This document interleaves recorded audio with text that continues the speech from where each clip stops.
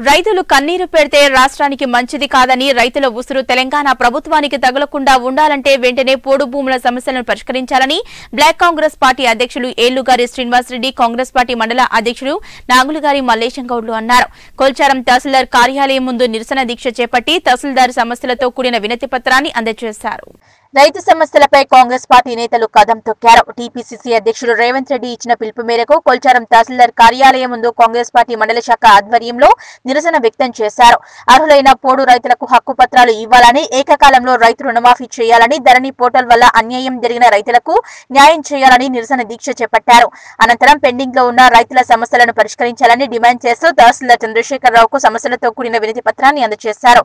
ఈ సందర్భంగా మల్లేశం గౌడ్ శ్రీనివాస్ రెడ్డిలు మాట్లాడుతూ ప్రభుత్వ విధానాలతో అర్హులైన రైతులకు తీవ్ర అన్యాయం జరుగుతుందన్నారు.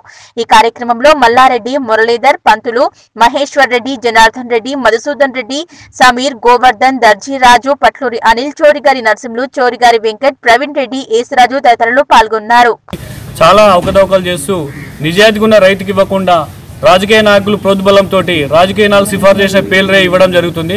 తద్వారా నిజమైన కబ్జాలో ఉన్న రైతు నష్టపోవడం జరుగుతుంది. అందుకని రాష్ట్ర కాంగ్రెస్ పిలుపు మేరకు ఈరోజు కొల్చార మండల కేంద్రంలో మేము నిరసన చెప్తూ ఎంఆర్ఓ ఎంఆర్ఓ ఎంఆర్ఓ గారికి కాంగ్రెస్ పార్టీ తరఫున తక్షణం అర్హులైన కబ్జాలో ఉన్న రైతులకు మరీ రీసర్వే చేస్తారా మరి ఇంకేదైనా చేస్తారా?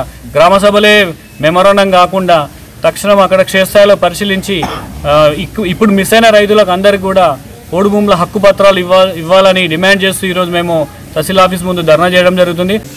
ఈరోజు మండలంలో ఉన్న సమస్యల మీద ధరణి పోర్టల్ సమస్యనైతేనేమి ఏకకాలంలో రుణమాఫీ సమస్యనైతేనేమి పోడు భూముల సమస్యనైతేనేమి ఇవన్నిటి సకాలంలో పరిష్కరించి రైతులకు రుణమాఫీ వన్ టైం సెటిల్మెంట్ చేస్తూ ఒకటేసారి చేయాలని కోరుకుంటూ ఈ మండల కాంగ్రెస్ ఆధ్వర్యంలో ఇక్కడ నిరసన చేపట్టినాం. ఈ సమస్యలను పరిష్కరించాలని కోరుతూ కాంగ్రెస్ పార్టీ పక్షాన డిమాండ్ చేయడం జరుగుతుంది.